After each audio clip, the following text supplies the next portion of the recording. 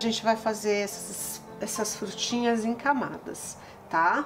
A luz tá vindo daqui, né, ó, daqui, né, tá? Ó, bate aqui. Vou pegar esse tom que eu misturei o rosado com o marrom e vou colocar nessa parte aqui, onde eu enxergo mais luz. Eu dissolvo tudo. Agora eu vou começar então a entrar com o tom é, violeta. Então vamos lá, a gente vai calmamente escurecendo isso, acrescentando né, as camadas.